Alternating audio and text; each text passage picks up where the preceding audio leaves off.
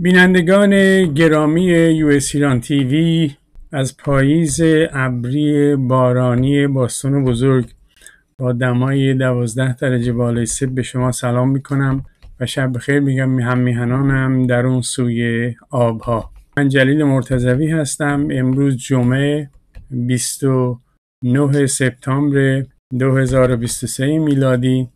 برابر است با هفته مهر ماه 1401 خورشیدی. امیدوارم در هر جای جهان بر وسیله که ما رو می‌بینید و یا صدای ما رو میشنوید حال همه شما عزیزان خوب باشه. دوستان یه خبر خوب بهتون بدم. اولا یکی از بینندگان خوب عزیز ما که در کار آیتی بسیار مهارت داره ایشون یه سری مذاکراتی را با یوتیوب انجام داده بود. نتیجه کار اینه که به من گفت به احتمال قوی فردا برنامه شما برمیگرده به حالت عادی. که من از این ایران دوست بسیار خوب و عزیز که کمک کردن سپاسگزارم. حالا انشالله بینیم فردا برمیگردیم به حالت عادی در همون زمان همیشگی که برنامه زنده در خدمت شما خواهم بود. شاید هم بتونم با آقای ندیمی تماس بگیرم چون خیلی از شما می‌خواین بدونین که جریان قرباق بالاخره چی شد و این چه ارتباطی با ایران داره. جالبه که وقتی آقای ندیمی با ما گفتگویی در این مورد کردن تمام صحبتاش درست بود. چون 24 ساعت بعدش دیدید حمله از طرف آذربایجان به قرباق شروع شد. حالا انشالله بتونم گیر بیارم که داستان واقعی را با آقای ندیمی در میان بذارم. اما دوستان امروز در مورد اینکه چرا امریکایی ها نگران به هم ریختن نظم جهان و نگران ایرانیا هستن که ایران در آستانه رسیدن به بمب حالا این صحبت ها رو با شما خواهم کرد. ولی قبل از آن چیز می‌خوام یه خبر خوب به شما بدم که مدت هاست که خیلی از شما منتظرید. اما قبل از این خبر بدم همه میگم همه خبرها خوب خودم هم اکسایدم اولا از آقای فقیه که از این هفته رسما به صف اهدا کنندگان این برنامه پیوستن سپاسگزارم چکشونم رسید. ضمنا از آقای مهندس واصلی که همیشه این برنامه لطف دارن از اسپانسرهای خوب ما هستن. این آقای مهندس ما نه تنها مهندس کار مهندسی می‌کنه بلکه هنرمند موزیسین هم هست. حالا انشالله چیزی داره در دستش درست می‌کنه به زودی شاید نواریشون هم دریاب بکنیم. و ضمنا از آقای یعنی مدیر کل آلفا سکیوریتی در لندن هم سپاسگزاریم که مدت زیادی دو تا خانواده را تحت حمایت خودشون دارن. یکی در شمال ایرانه یکی در جنوب که از این دوست بسیار خوبم سپاسگزارم اما دوستان می‌دونید که علاوه بر کارهای خبر ما چندین چیز تو این برنامه انجام میدیم. با کمک شما ایران دوستان. مدت هاست که ما در ساختن مدرسه کمک رسانی به خانواده های نیازمند مداوم و معالجه بچه هایی که نیاز دارند تحت پوشش ما این کارا رو داریم انجام میدیم. و با کمک شما. بکنم یک سال و خورده ای پیش بود پرویز حقو با من تماس گرفت. گفت آقا من می‌خوام یه مدرسه خودم در آبادان بسازم. گفت این مدرسه مدرسه فقط باید دخترانه باشه در منطقه تقریبا کم درآمد آبادان. ایشون دوست داشت این کار انجام بده که تماس گرفته شد و فلان اینا که درصد بالای تمام هزینه ها را خودش در ابتدا شروع کرد. بعد ما اومدیم اینو اعلام کردیم دوستای دیگه هم از وجود یه همچین پروژه‌ای آگاه شدن و خیلی از شماها کمک کردید. در امریکا در اروپا دوستای ما در لندن آقای مهندس خراسانی آقای مهندس سنجانی و دوستای دیگه در امریکا. خلاصه این هم خیلی در استقبال کردن. این مدرسه با ویژگی های خاص خودش که مدرسه باید دخترونه باشه حالت پانسیون هم می‌تونه داشته باشه که اگر دخترها نتونن شب برگردن می‌تونن اونجا باشن.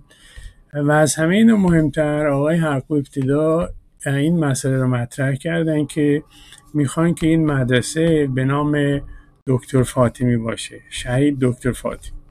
و همه اینا انجام شد. خوشحالم که خدمتتون بگم.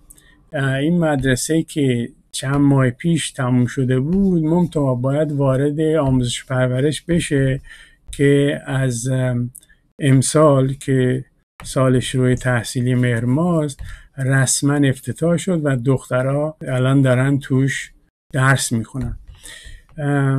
دوست و یار بسیار گرامی ما خانم سمدی.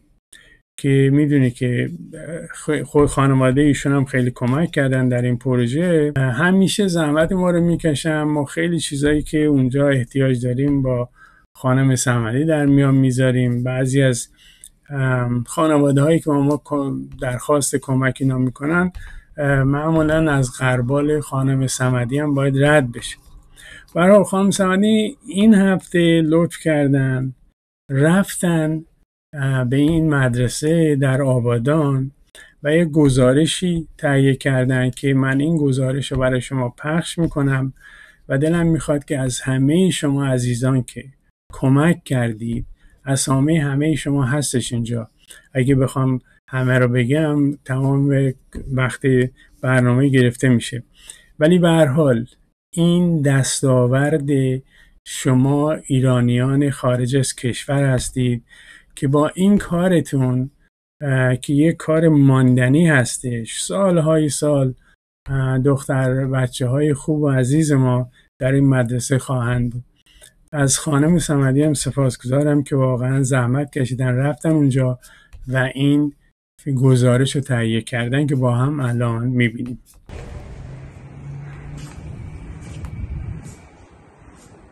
قرار حیات رو تا آخرین ماه آسفالت کنه. بچه ها با هم صحبت بکنیم. همه شما اینجا دانش آموز مدرسه شهید دکتر فاطمی هستیم. کلاس های چندمی؟ کسایی که با من صحبت نکردن. هشتمی. بله من میدم شیطون مدرسه از قیافش معلومه راهتون نزدیک شده دیگه. آره همینجا. خیلی بهتر. قبلا چقدر تو راه بودی برسی مدرسه؟ واسه بیس می‌رفتیم میومدیم بیس الان دیگه نزدیک شده آره. شده که کولرهای مدرسه. کلاس ها که تجهیز شده.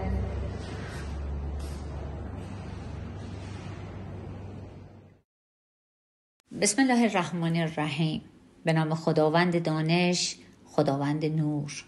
عرض سلام خدمت دختران امروز آبادان و زنان و مادران آینده ایران. آغاز سال تحصیلی و به همه شما دانش آموزان عزیز تبریک میگم. برای من افتخار بزرگیه که امروز همزمان با سالگرد شکست حسر آبادان در کنار شما عزیزان هستم. خودتون می‌دونید که نام آبادان با مقاومت و امید گره خورده.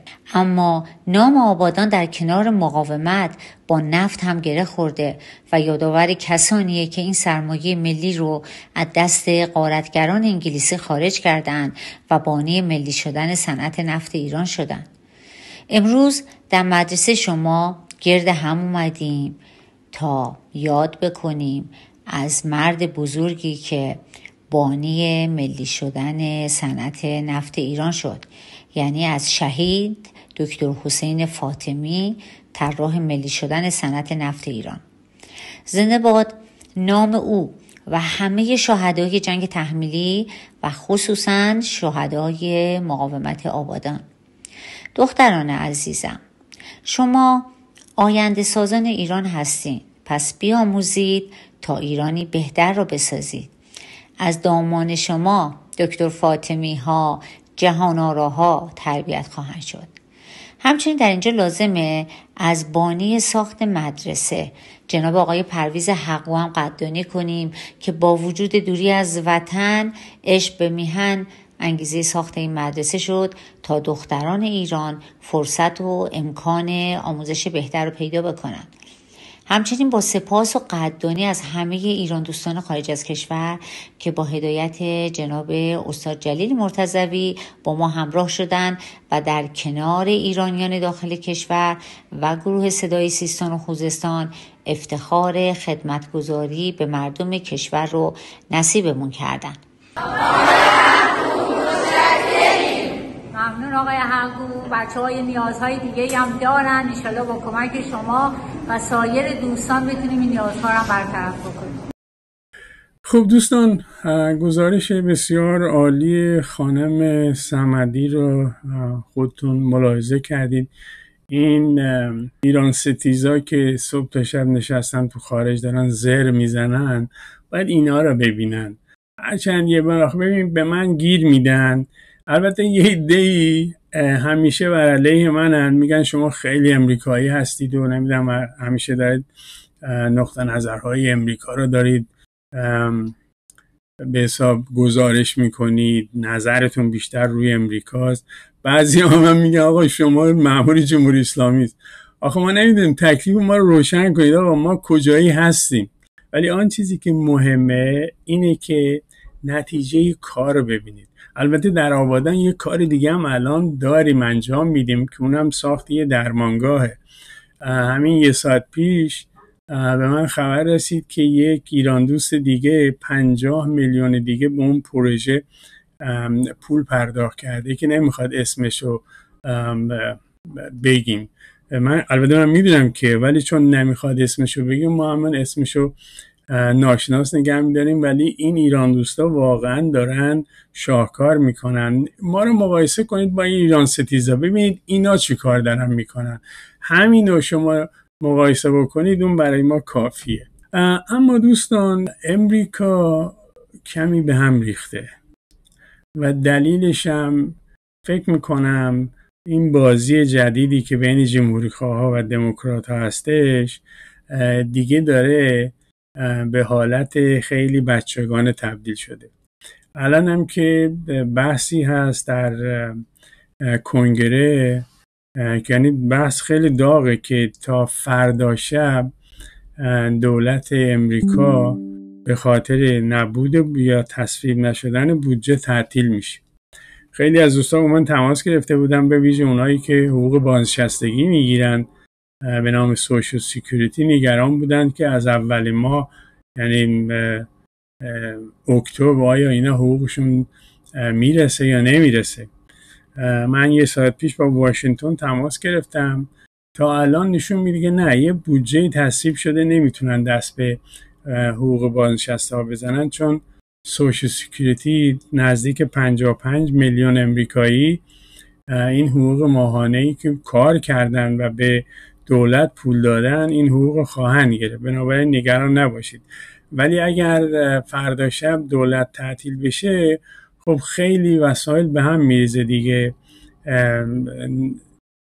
نبود حقوق برای ارتش فرودگاه ها به هم خواهد ریخت سفارت خونه ها تعطیل خواهد شد. خلاص خیلی چیزا به هم میریزه.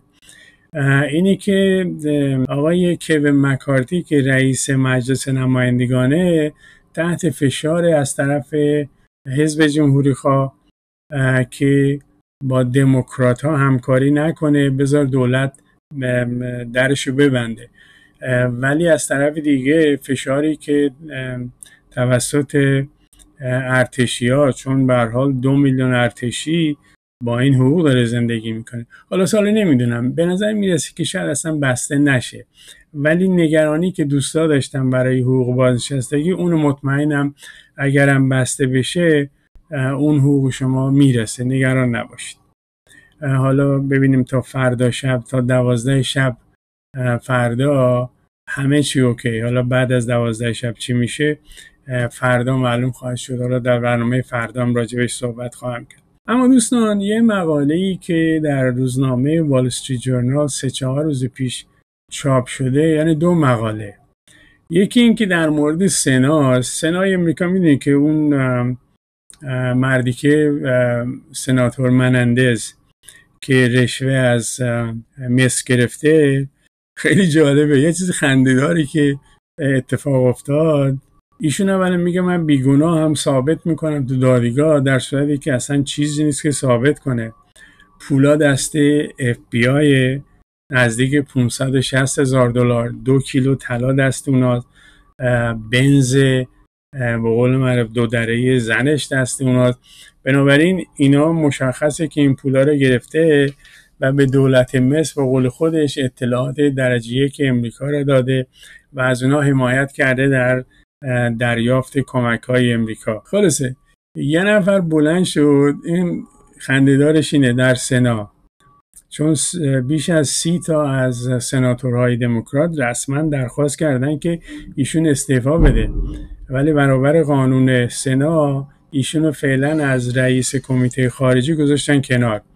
این البته می‌دونی که به سناتور منافقان معروفه. چون پولو از منافقان می‌گیره برای انتخابات خودش و هرچی از اونا می‌گرفت کسی کاری نداشت چون برای ایران بوده.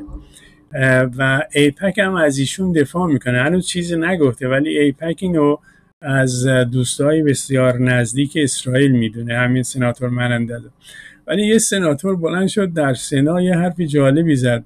گفت دوستان می‌دونی که دلار امریکا در بدترین شرایط خودشه.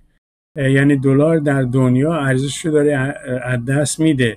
تا جایی که حتی سناتورهای ما دیگه رشوه به دلار نمی‌گیرن.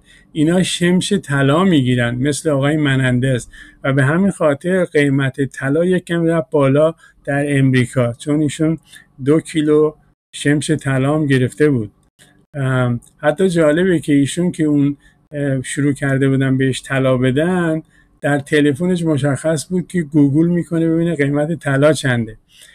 اینی که با توجه به این سنگینی وزن واقعا اتهام ایشون من فکر نمی کنم که ایشون بتونه دوام بیاره. حالا ببینیم چی میشه دیگه. من چند شو به همه گفتم آقا دنبال دلار نرید در ایران همین شمش طلا بگیرید بعضی من گفتن آقا این حرف رو نزن. آقا در سنای امریکا هم همین دارن می‌زنن میگن طلا بگیرید حال یک مقاله در مورد سنا نوشته شده در وال جورنال این بوده که سنا تصویب کرد که هر کسی با هر لباسی می‌تونه بیاد شلوار کوتاه بپوشه نمی‌دونم کلاه نمدی و اینا همه اینا. ولی پگینونن یکی از محافظ کارترین ستون نویس وال که قبلا نویسنده سخنرانی پرزیدنت ریگن بود. ایشون در یه مقاله می نویسه که شما سناتورها نشون دادید با این کارتون که آدمای قابل احترام نیستید. وقتی شما قابل احترام نیستید چه انتظاری داری که دنیا به شما احترام بذاره؟ وقتی نمی‌تونید در مورد پوشش خودتون آبروی سنا را حفظ کنین وای به حال امریکا. و اما چیزی که می‌خواستم مطرح کنم خیلی مهمه اینه که والتر راسل مید ستون نویس معروف وال جورنال که خودش هم استاد دانشگاهه در رابطه با مجمع عمومی سازمان ملل. نوشته بود که واقعا در این چند سال اخیر نشون میده که دنیا نظم جهانی خودش رو از دست داده و همه چی به هم ریخته. میگه که در شرایطی که سازمان ملل تا یه حدودی عزت و احترام داشت. مردم به هر حال به عنوان یه نهاد بین المللی بهش نگاه می‌کردن. اینم داره ارزش شاید دست میده. میگه نگاه کنید در همین مجمع عمومی سازمان ملل از پنج عضو رسمی شورای امنیت فقط یه نفر راهشو گم کرده بود اومده بود تو نیویورک اونم پرزیدنت بایدن بود.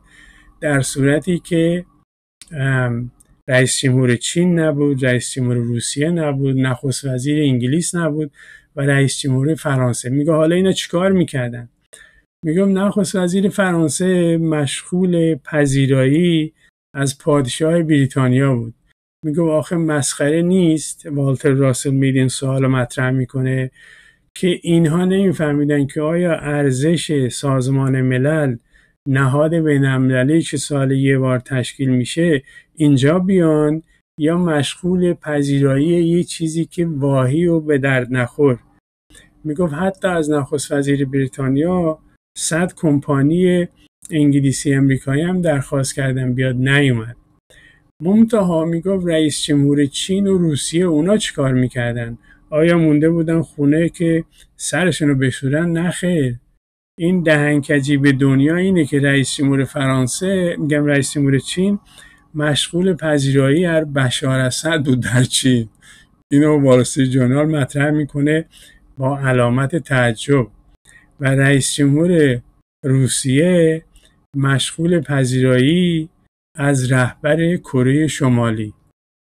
گفت در چهارچوب همه اینها دیدیم بله رئیس جمهور ایرانه که اومده اینجا داره سخنرانی می‌کنه و ایران به طرف اتمی شدن داره میره و در حقیقت خاورمیانه را تحت شعای خود قرار داده و در منطقه هم حرف اول می‌زنه و نشون میده که نظم نوین جهانی و یا نظمی که سازمان ملل حداقل به صورت سمبولیک هم که داشت اون هم داره از بین میره و خدا به داد ما برسه که فردا چه بلایی سر ما خواهد اومد که یه نهاد مهم مثل سازمان ملل دیگه اون ارزش حتی جلسه ها را نخواهد داشت.